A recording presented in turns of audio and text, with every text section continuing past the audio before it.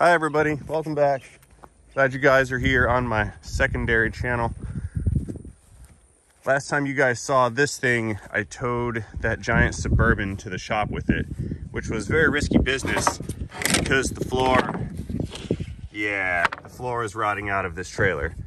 I bought this new in 2017 or 2018, I think, and uh, it's it's about done for. So I uh, I need to use this trailer to move some more vehicles, but uh, I need to put a floor in it first. So that is what we're going to do today.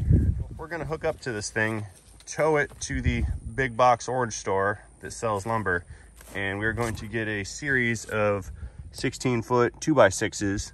I think it takes 11 of them and some Thompson's water seal and we're gonna redo this floor. Then after I'm done fixing the trailer, I can tow it back to the shop and pick up that car. The flatbed trailer is a two inch ball and all my other trailers are a two and 5 16 ball. So I need to change this receiver real quick like, and then we can hook up and get out of here. Starting the engine.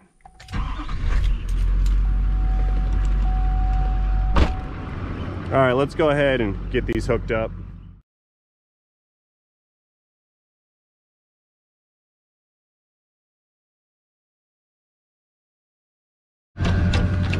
Okay, let's get it chained and we'll hook up the brakes and uh, lights, check those. We're ready to ride.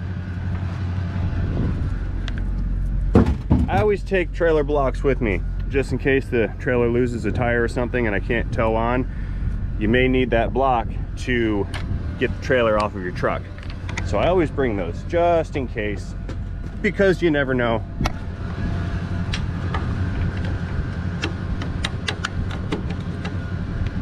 Power. Okay, we have running lights, brake lights, running lights, brake lights, we're good.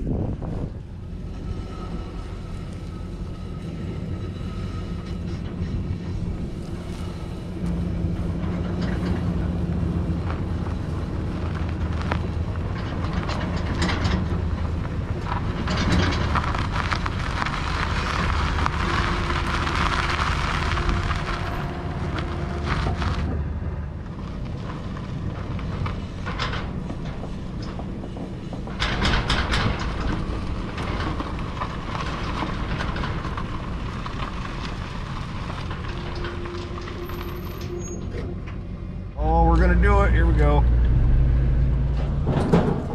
VIP parking lot.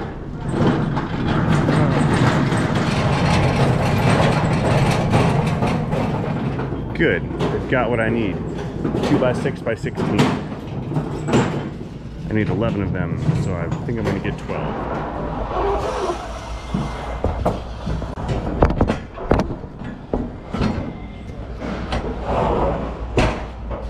There we go.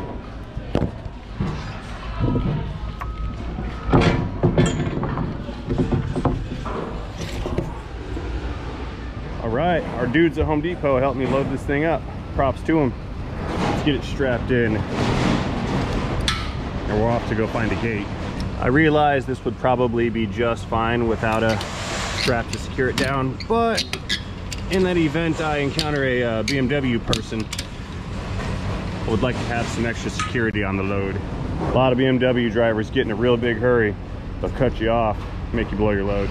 Yeah. Okay, we fast forwarded again. We're out back of a tractor supply and I just picked up a pair of new gates. One will go in in front of the garage and then one is gonna be an entry gate uh, to the property. This one, or the old one is starting to rust out and uh, I want to stay ahead of the destruction so I ended up picking up a another one.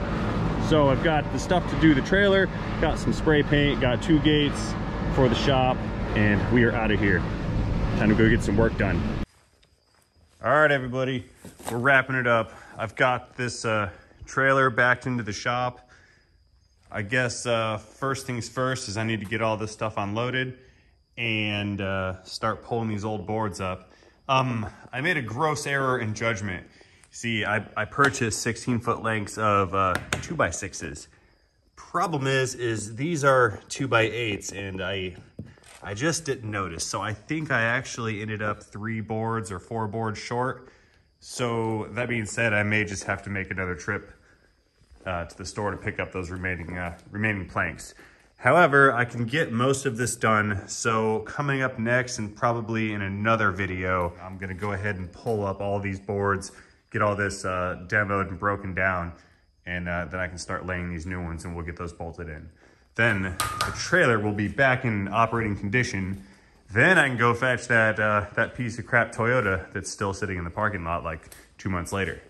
Because we have things to do and I need this trailer to do them. And I think while I'm at it, I can uh, touch up some of this rust. This, uh, this hurts my heart. I bought this trailer new in 2018, I think, and now it's, it's, uh, it's showing some age. It's unfortunate, but a little bit of a restore. We'll sort that out, no problem. Should be good as new. Couple cans of spray paint. Need to fix up some wires. Clean that off redo the deck and I'm gonna going to water seal these planks. Oh, you know what? While we're here, I forgot. I managed to get a new cover for this uh, breaker panel. Remember when uh, when I first came in, this um, this whole panel cover was gone and it was missing, and uh, I could not replace just the cover. I could not find one, so I ended up having to buy an entire breaker panel just to just to get the cover. Now I'm sure somebody out there is going to be able to find one and I'm going to get a link for it. And and that's okay because if you have one I will take it because I need it to complete this panel right here. I don't know what I'll do with a completed panel, but I'll do something with it. So yeah, progress has been slow, um, but it's moving along slowly but surely. All right, everybody, I'm gonna wrap it up.